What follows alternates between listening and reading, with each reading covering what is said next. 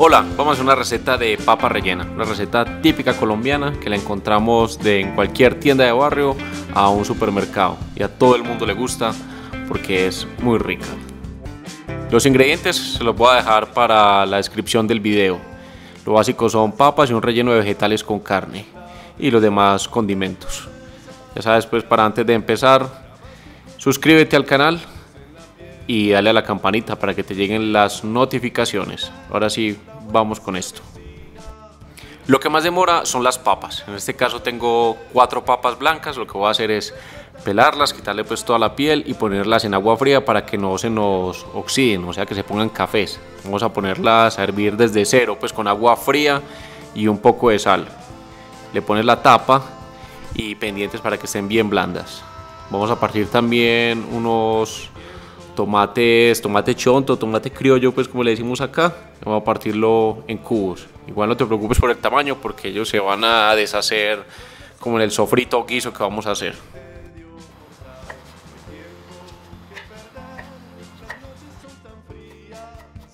Ahora vamos a partir también cebolla junca, cebolla de rama o cebolla de verdeo. Partirla en rodajitas bien pequeñas, toda la parte blanca y la parte verde.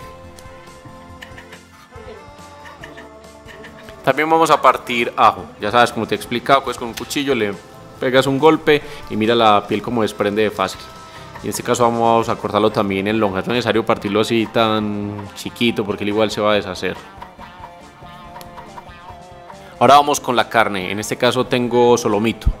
Necesitas una carne que sea blanda, no importa que ya la tengas cocida, pues carne desmechada, carne molida, todo eso va a estar bien. Yo tenía esta quería dar un uso se ve un poquito café es por como por la maduración o cuando ya se descongela eh, y apenas tiene contacto con el aire tiende como a oxidarse, a coger ese color gris, pero no hay ningún problema. La partí bien pequeña, condimenté con pimienta, sal y le hice pues como un salteado.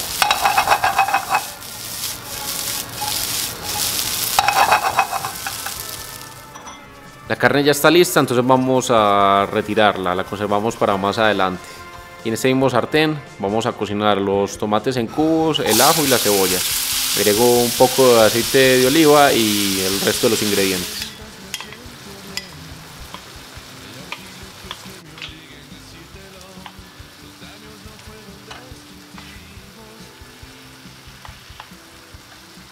Estoy cocinando esto a fuego muy bajo, tengo la temperatura al mínimo. Acá lo que necesitamos es que los vegetales se suavicen, que no se vayan a dorar por ningún motivo. En este caso, para que pase eso, tenemos que agregarle sal. Ya tengo sal marina y voy a condimentar con pimienta. La idea es que quede con textura de salsa espesa, como un hogao.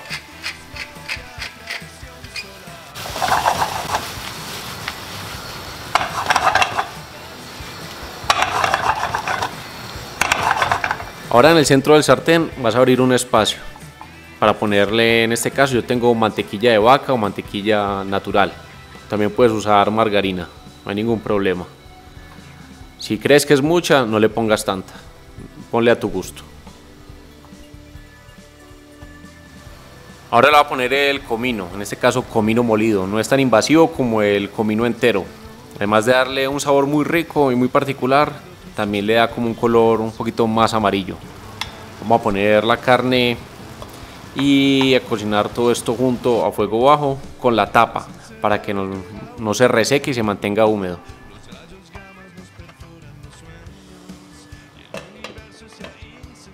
Ahora revisar las papas. La forma más fácil de saber que ya están es introducirles un cuchillo y que salga fácilmente. Mira que acá pasa eso las voy a retirar y vamos a empezar a hacer el puré o la masa para la papa rellena. Yo voy a utilizar un cuchillo para partir las papas, también lo puedes hacer con un tenedor grande o mejor con un puré.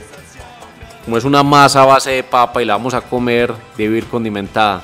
Vamos a ponerle sal marina, pimienta y un poquito de mantequilla que le va a dar muy buen sabor. No te vayas a en eso porque si no va a quedar muy sedosa, entonces no va a tener la textura para poderla rellenar, se te va a deshacer.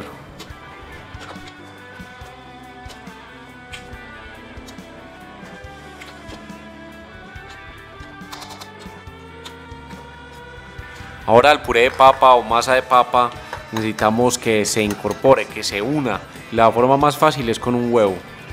Yo lo que hago es reventarlo aparte, porque si lo revientas justo donde está el puré de papas tienes el riesgo de que te salga el huevo malo y dañas toda la receta.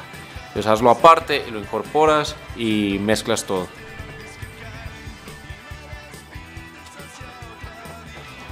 Listo, la receta va súper bien. Ya tengo el sofrito listo y el puré de papas. Pero al puré le tengo que agregar un condimento muy nuestro que es el triguizar.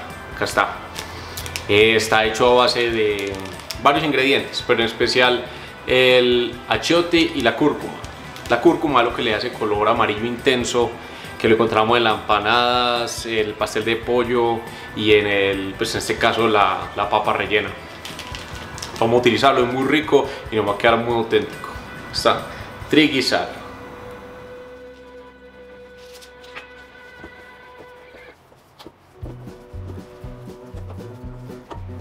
Si ves cómo queda un amarillo más intenso, es gracias a este condimento. Yo la masa ya llegué a un punto en que tiene la textura que yo quiero y voy a ponerla en un plato y expandirla para luego poderla dividir.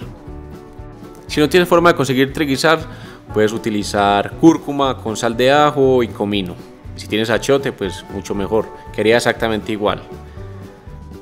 Voy a dividir esto en cuatro partes iguales. Entonces voy a utilizar la parte de encima del cuchillo para bañar el filo. Ahora en un bolo recipiente voy a poner algo de harina de trigo. A eso se le debe poner caldo de pollo como para condimentarlo. Vas a ponerle un huevo orgánico, pues mucho mejor, y lo bates. Y a esta mezcla le vas agregando agua de a poco para conseguir una consistencia como de mezcla para crepes pancakes.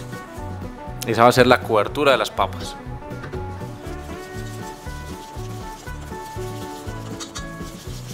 ¿Que ¿Cuáles son las cantidades? Pues yo tenía una taza de harina de trigo para un huevo y a eso le vas agregando el agua siempre de a poco. Entonces puedes empezar con poquita harina eh, y poquita agua hasta conseguir esa mezcla.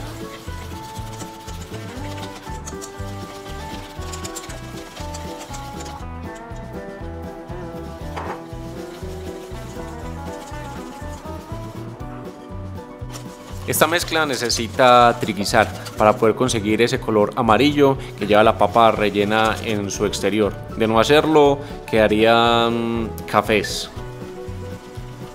Ya conseguí la consistencia que necesitaba haciendo la prueba de la cuchara. Mira, le paso un dedo y se mantiene. Ahí está. Voy a poner un poquito más de triguizar porque necesito ese amarillo aún más intenso. Muy bien.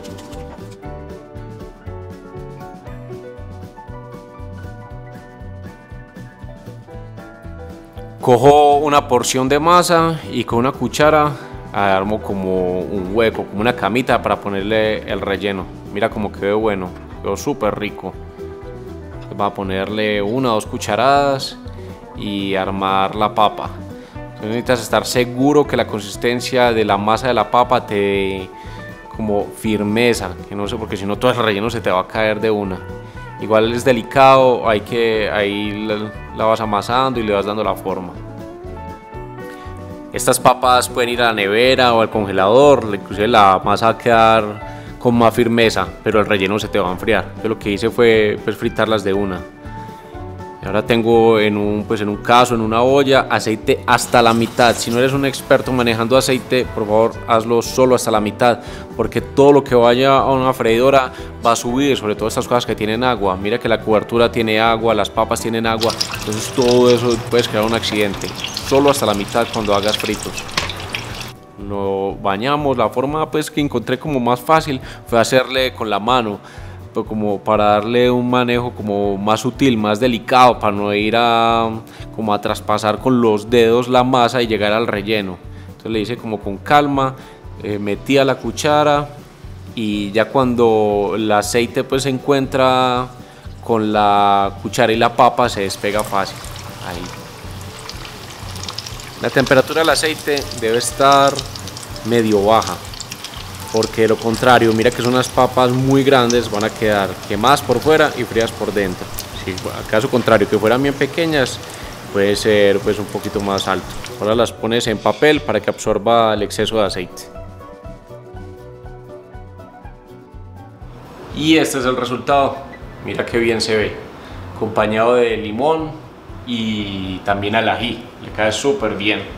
Una receta que me tomó mucho tiempo hacer. Yo te aconsejo que lo hagas con tus amigos o tu familia, porque son varios pasos. Pero vale la pena ya que sirve como almuerzo, cena una entrada, acompañado de una ensalada, sales fácil. Espero pues que la hagas y déjame en los comentarios a ver qué tal te pareció. Y nos vemos en el próximo video. Chao.